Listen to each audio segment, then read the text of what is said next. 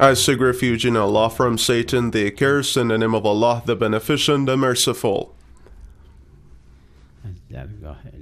I hope that by the grace of Allah Almighty, uh, all acts of worship and services conducted by you will be accepted.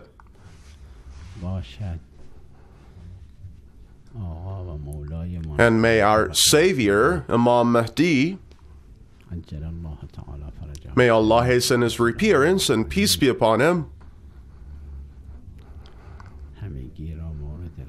Bless us all. And Lady Fatima Masuma, peace be upon her.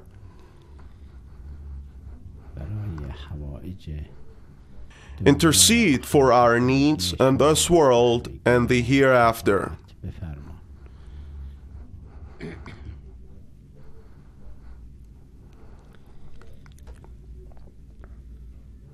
یک مطلب نام There is an invisible matter in Allah's creation that is just like gravity. مثل جاذبه که مرئی نیست It is at work but cannot be seen. Nonetheless, it is real. Allah Almighty has a lot of invisible things at work that we can only know and understand them by their effects. One of such invisible thing is that when whatever a person, whether good or bad, does to others in this world will return to himself.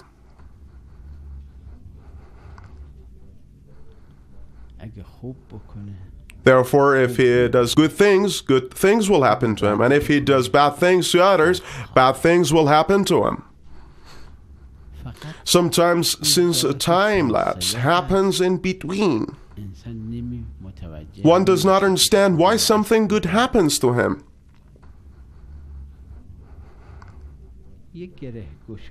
Thus, once you help someone solve his problem,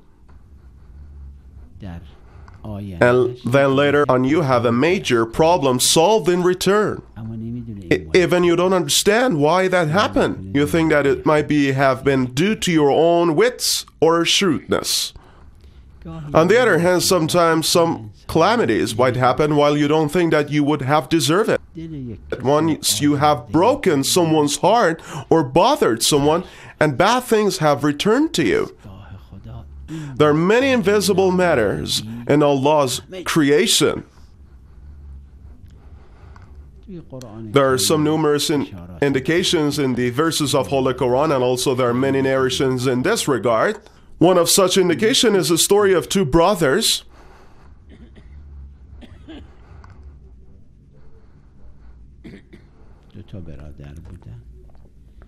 One of these brothers was married and the other was not. These two brothers share the farm, and thus, when they have harvested the wheat, they had to have equal shares of the crops. So they harvested the crops and cut them in half and put them in the same place. We suppose that all the crops had been 2,000 kilograms. They cut them into 1,000 kilograms parts and went to their house to have rest and decided to take his own share tomorrow.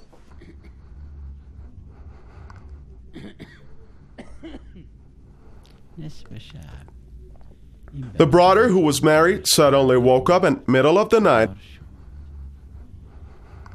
and thought to himself, is it true that both of us have an equal share of these crops? This is my brother who might want to get married soon.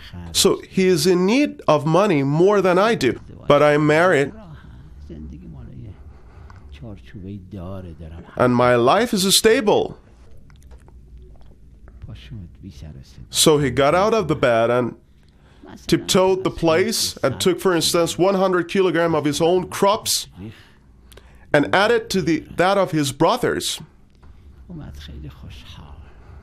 Then, rather happily, he came back to his own bed, and his share is now 900 kilograms.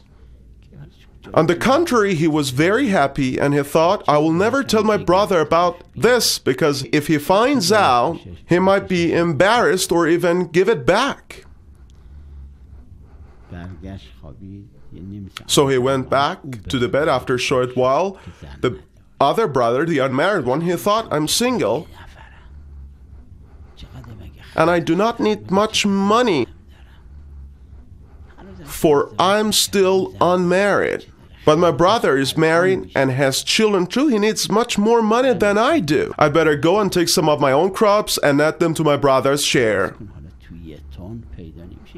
It is really unusual 100 kilogram to be added to their shares. So he took, for instance, 100 kilograms of his own crops and added to that of his brothers. Then he told himself, I will not tell my brother about this. It should be noted that it is not what all brothers do. This is what two pure souls do. It's done by someone who always wants good things for others, someone who loves to take away from his own properties and gives away to the others. So this brother also added some of his own crops to his brother's share and then came back to bed happily. He told himself, I did a good thing because he was my brother, so he went to bed. So each one took 100 kilogram his own and added to his brother's share. So their share must still have been 1000 kilogram. However, they went to their crops the next day to weigh them, and they were surprised to find that both shares were 1,100 kilograms. Each of these two brothers recounted his own story of last night, and they did not understand what had happened and where that extra weight had come from. Who had added this 100 kilogram to their shares? This, however, had been an invisible reward from Allah Almighty. This is Allah Almighty who returns the results of good deeds. This is He who returns the result of bad ones. There's an old Farsi saying which is perfectly true and translated literally as Whatever you give out to others with one hand, you shall receive the same later in the other. If you give someone flour one day, you must expect to be given a flour later. If you punch someone also, you must expect to someone to punch you as well. It is possible that it takes even 10, 20, or 50 years.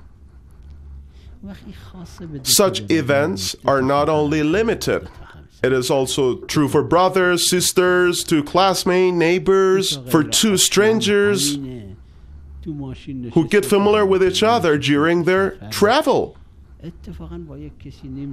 And they have spent some time with one another. And maybe they would never meet one another during their lifetime again. No good deed would go unnoticed in this world.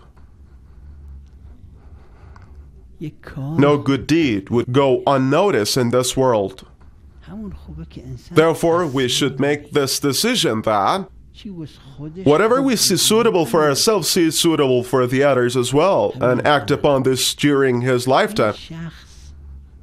These two brothers really found felicity in this world with no doubt. Felicity doesn't mean that such people are never poor. This world is inflected with all kinds of problems. The best people created by Allah Almighty were the Holy Prophet and his descendants who had numerous problems. However, the felicity the lady Fatima had in her life, despite all her hardships, no other woman on earth had or will ever have. Also, the felicity that Imam Ali, peace be upon him, had is in his life, despite all hardships he experienced in his life, is incomparable to that of anyone.